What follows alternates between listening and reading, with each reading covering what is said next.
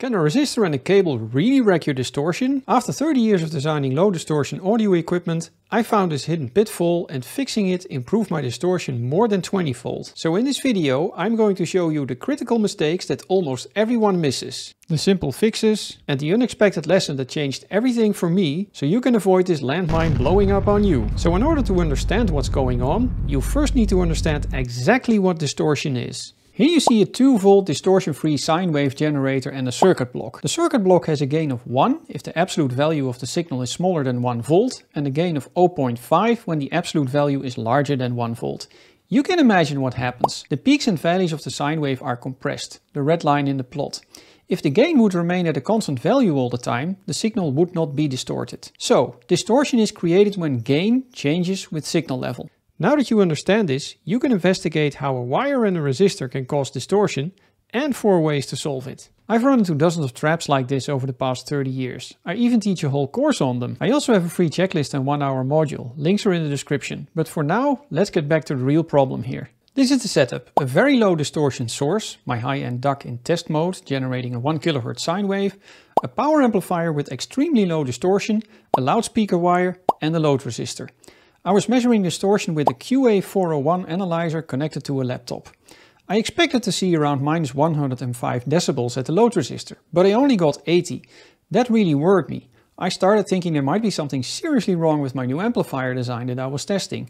Strangely enough, when I checked the distortion at the amplifier's output terminals, it was better than at the load resistor. It seemed like the loudspeaker wire was causing the distortion.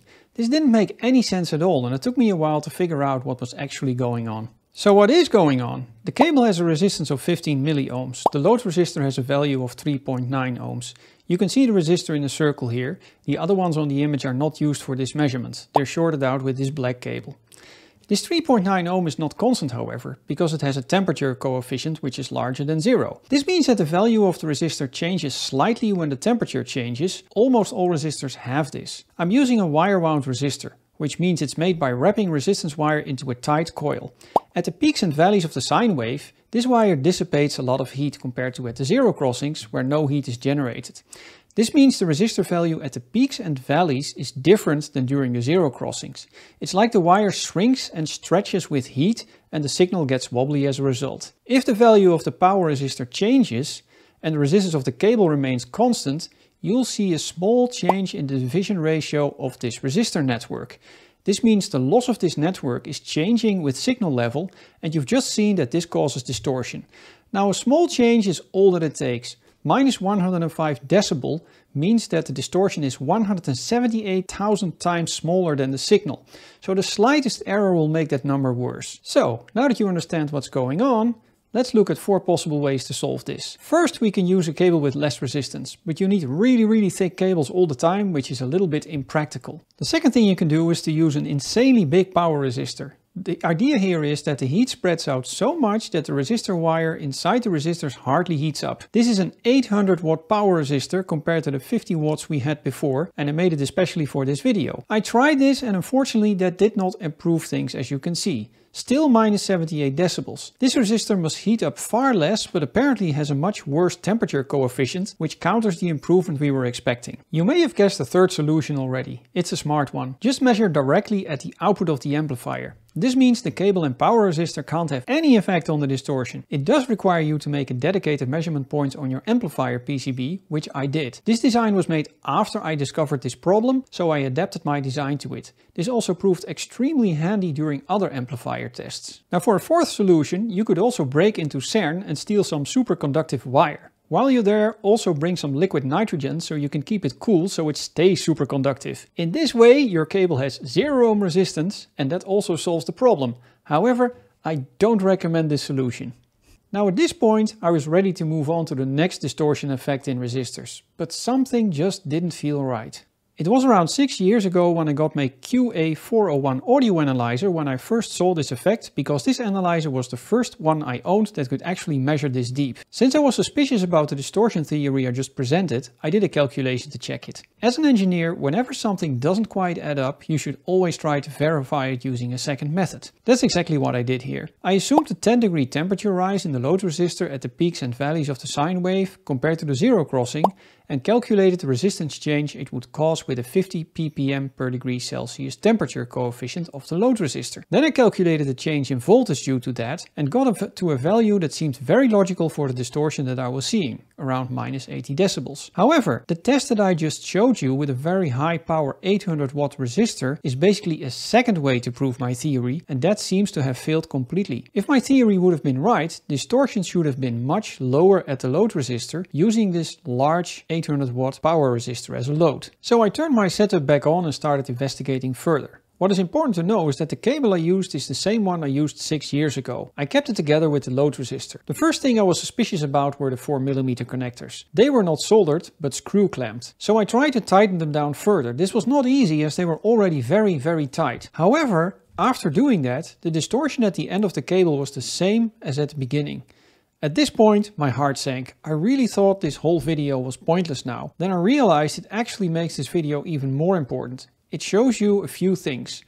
First, you have to be very careful drawing conclusions. Even though I did some first order calculations to calculate the effects of the temperature coefficient in combination with the cable resistance, my conclusions still turned out to be wrong, even though the outcome of those calculations was very close to what I observed. It shows you how easy it is to be fooled by results if they turn out to be close to what you expect. Second, if you want to guarantee low distortion in high power situations, you really have to tighten down all the screws or even better, solder the connectors. Now about what caused the distortion distortion fundamentally. It could just be the contact resistance in combination with the temperature coefficient of the load resistor, the initial theory. I also understand that oxidized copper can cause this. Copper oxide apparently has a nonlinear behavior and this cable was quite old and oxidized. Maybe by tightening the screws I broke the oxide layer and restored a distortion-free contact surface again. Also, I did the original calculations of 6 years ago and got to minus 114 decibels.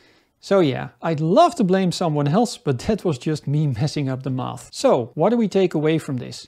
First, never blindly trust your calculations. Second, always double check your setup, even the connectors. And third, this is the sneaky one. When your data or math perfectly confirms your theory, it's natural to become less skeptical and think you've solved it. But this is exactly when you should be the most skeptical, because that's when you're most likely to miss the real bug. I've encountered this many times over the last 30 years. So is this the end of the story? Not even close. There's another resistor distortion effect that can silently ruin your circuit. You could be using the best amplifier on the planet and still be stuck at minus 70 decibels. Luckily, the fix is simple, once you know it. Let me show you. Here you see three identical resistive divider networks with 4.7 kilo ohms and 680 ohms. The measurement setup is the same as before. The amplifier is connected to the input of the network and the audio analyzer is connected to the output. The only difference between these three networks is the type of resistors that is being used. As you can see, there's a big difference in distortion.